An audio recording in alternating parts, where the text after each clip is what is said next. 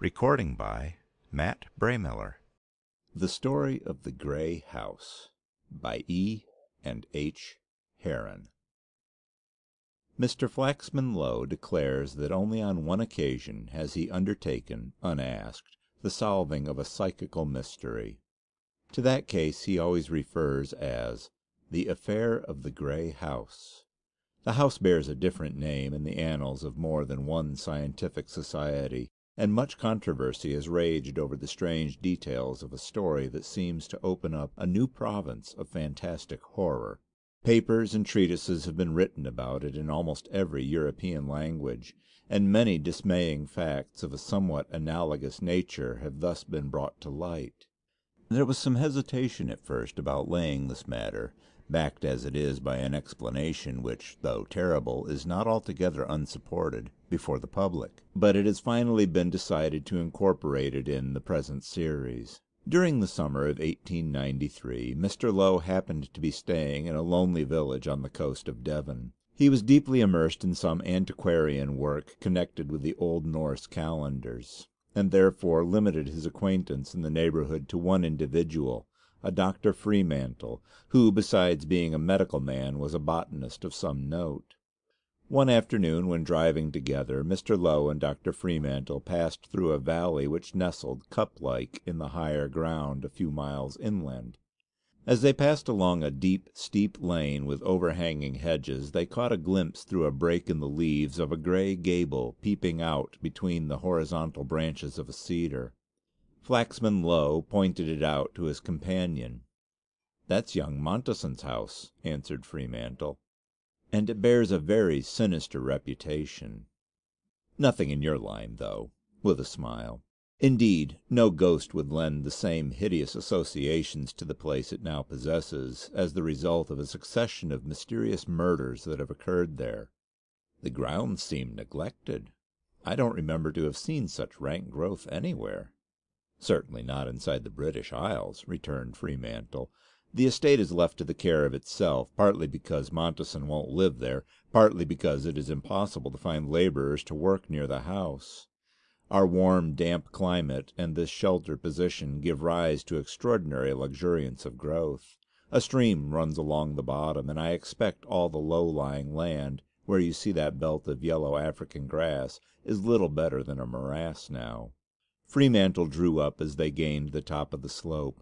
From there they could overlook the tangle of vegetation dimmed by a rising mist which surrounded and almost hid the roof of the grey house. "Yes," said Freemantle, in answer to an observation of Mr. Low. "Montesson's guardian, who lived here and looked after the property for him, turned the place into a subtropical garden. It used to be one of my chief pleasures to wander about here. But since my marriage my wife objects to my doing so on account of the tales she has heard." "What is the danger?" "Death," replied Freemantle shortly. "What form of death? Malaria?" "No disease at all, my dear fellow. The persons who die at the Grey House are hanged by the neck until they are dead."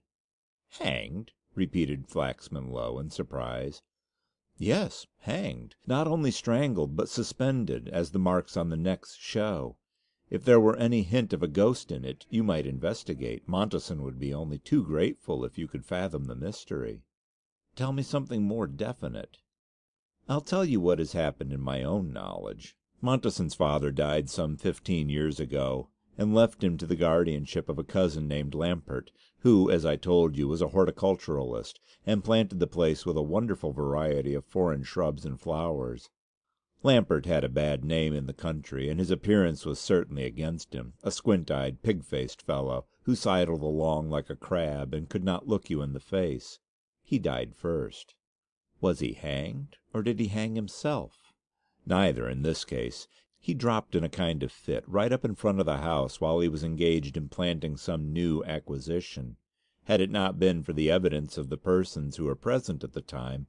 I should have said his death resulted from some tremendous mental shock. But the gardener and his relation, Mrs. Montesson, agreed in saying that he was not exerting himself unduly, and that he had had no disturbing news. He was a healthy man, and I could see no sufficient reason for his death. He was simply gardening, and had apparently pricked himself with a nail, for he had a spot of blood upon his forefinger. After that all went well for a couple of years, when during the summer holidays the trouble began. Montesson must have been about sixteen at the time, and had a tutor with him. His mother and sister, a pretty girl rather older than himself, were also here. One morning the girl was found lying on the gravel under her window, quite dead. I was sent for, and, upon examination, discovered the extraordinary fact that she had been hanged." "Murder?" "Of course, though we could find no trace of the murderer. The girl had been taken from her bedroom and hanged. Then the rope was removed, and she was thrown in a heap under her window. The crime caused a tremendous sensation in the neighborhood, and the police were busy for a long time, but nothing came of their inquiries. About a fortnight later, Platt, the tutor, sat up smoking at the open study window. In the morning he was found lying out over the sill. There could be no mistake as to how he met his death, for in addition to the deep line round his throat, his neck was broken as neatly as they could have done it at Newgate. As in the other case, there was nothing to show how he came by his death. No rope, no trace of footsteps, or any struggle to lead one to suspect the presence of another person or persons. Yet from the facts it could not have been suicide. "I see you had some suspicion of your own," said Flaxman Low. Well, yes, I had. But time has passed, and I now think I must have been mistaken. I must explain that the branches of the cedar you saw jut to within a few feet of the windows of the rooms occupied by Miss Montesson and Platt respectively at the time of death. I told you there were no traces of anyone having approached the house. It therefore struck me that some active person might have leaped from the cedar into the open windows and escaped in the same way for the windows open vertically, and when both leaves are thrown back there is a large aperture.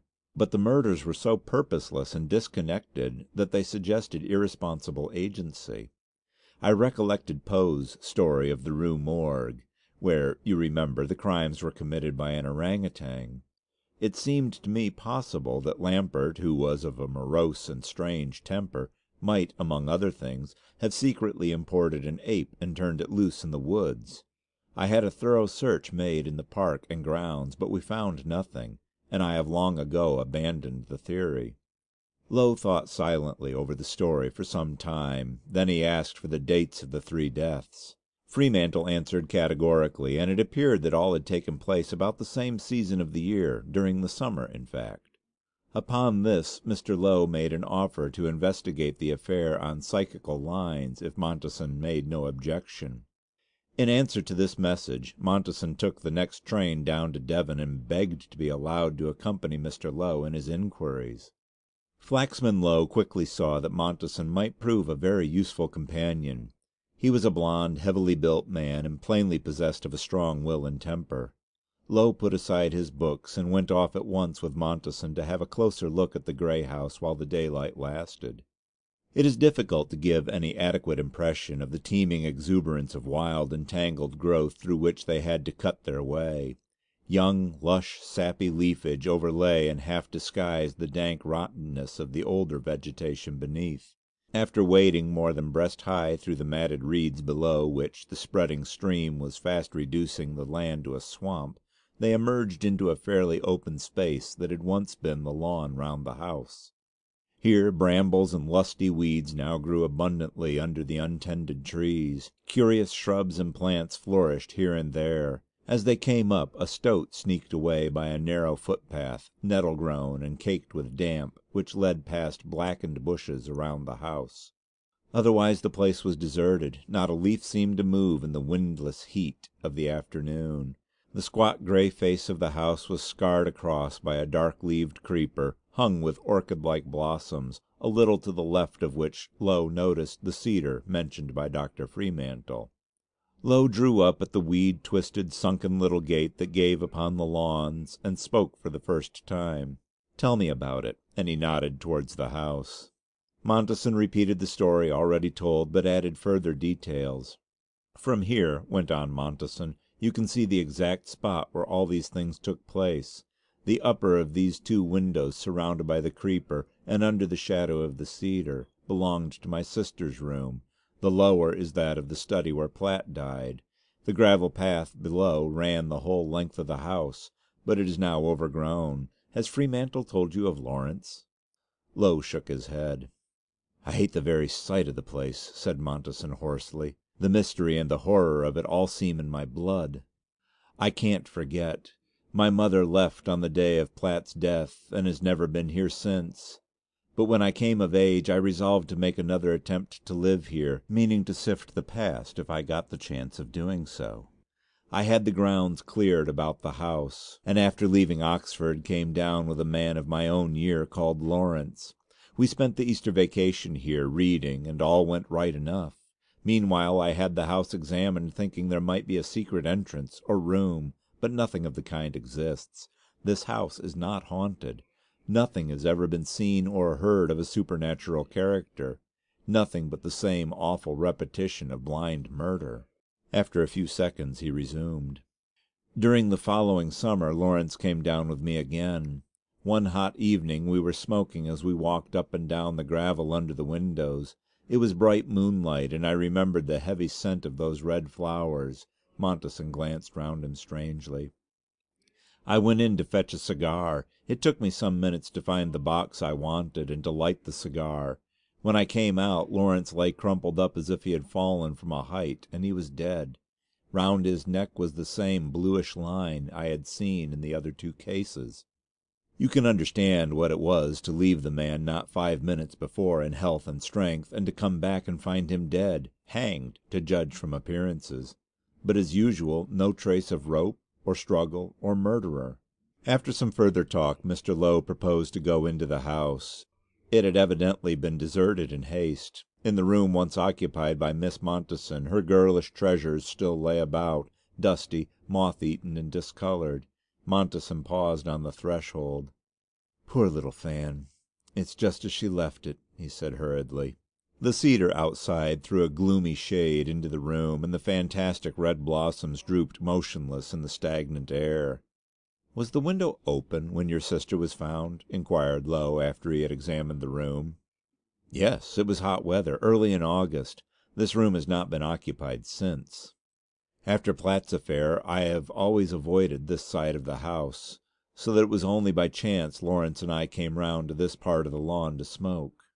"Then we may suppose that the danger, whatever it is, exists on this side of the house only?"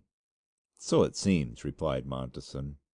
Your sister was last seen alive in this room, Platt in the room directly below, and your friend, what of him?"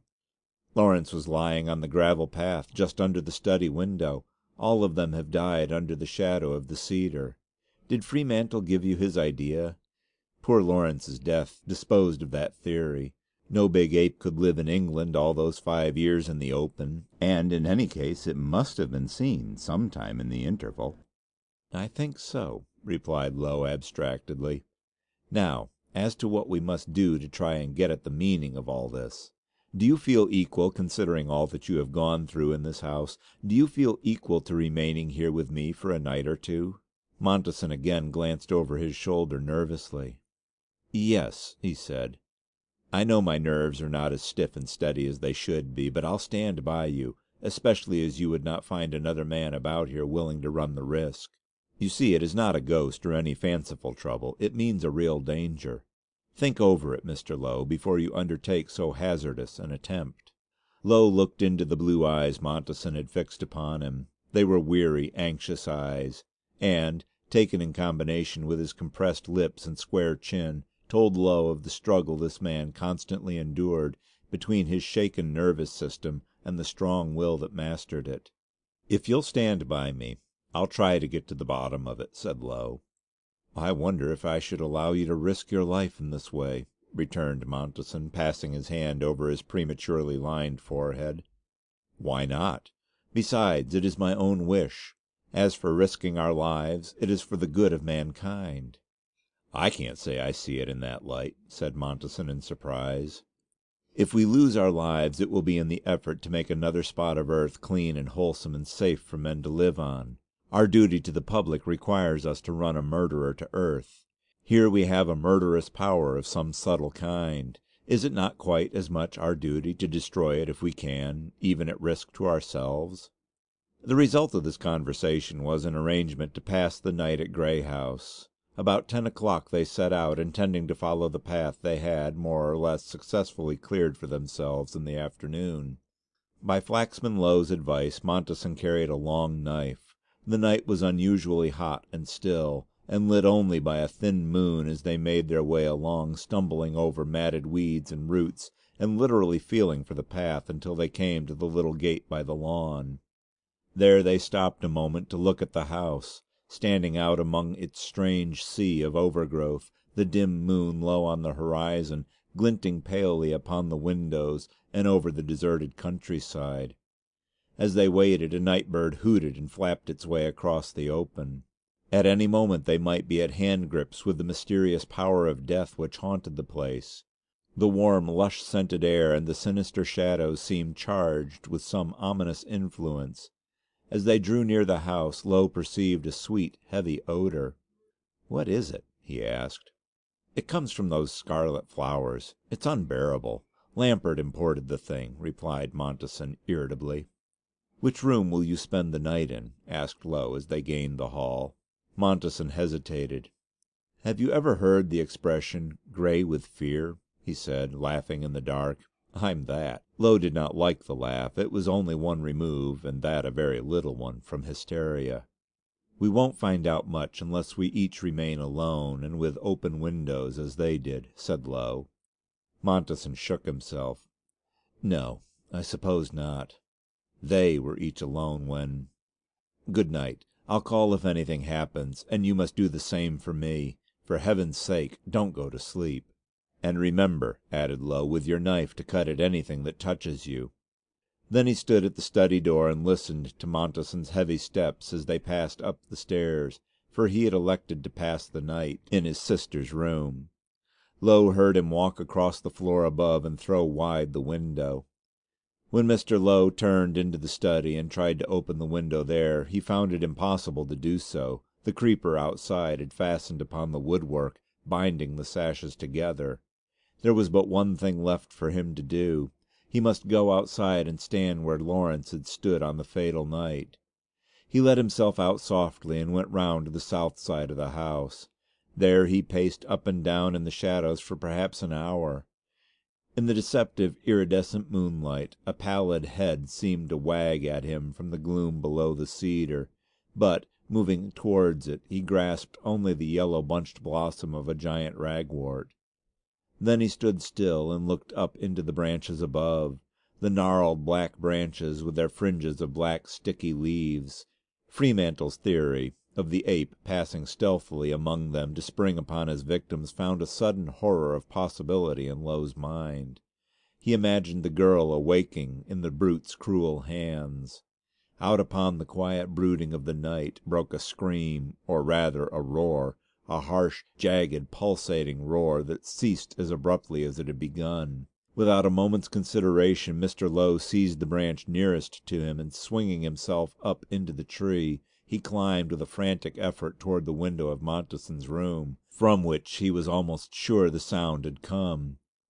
Being an unusually active and athletic man, he leaped from the branch towards the open window, and fell headlong in upon the floor. As he did so something seemed to pass him, something swift and sinuous that might have been a snake, and disappear out the window.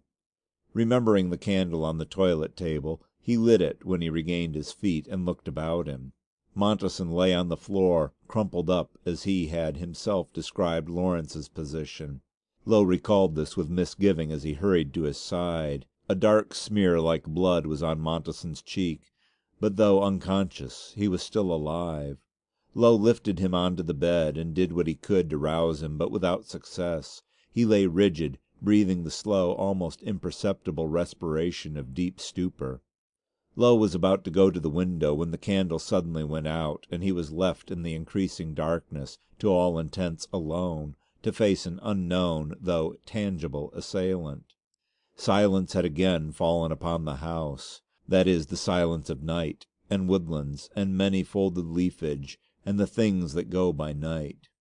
He stood by the window and listened. His senses were acute and throbbing. He felt as if he could hear for miles. The scent of the scarlet blossoms rose like deadening fumes into his brain, and he drew away from the window, and, feeling strangely spent, threw himself upon a couch. Then he drew out the knife at his belt and strung himself up to watchfulness with an effort. He knew that the attack he had to expect would likely come from the direction of the window.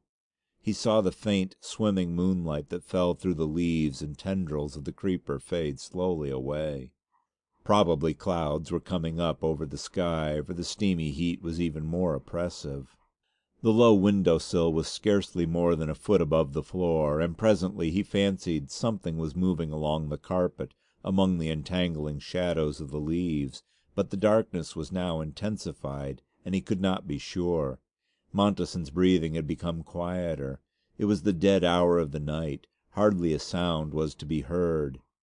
Suddenly Low felt a soft touch upon his knee. His whole consciousness had been so absorbed in the act of listening that this unexpected appeal to another sense startled him. Here and there, rapid, soft and light, the touches passed over his body. It might have been some animal nosing about him in the dark. Then a smooth, cold touch fell upon his cheek. Low sprang up and slashed about him in the darkness with his knife. In that instant the thing closed with him, a flexuous, snaky thing that flung its coils about his limbs and body in one swift spring like a curling whip lash. Flaxman Low was all but helpless in that winding grasp of what? The tentacles of some strange creature? Or was it some great snake, this sentient thing that was feeling for his throat?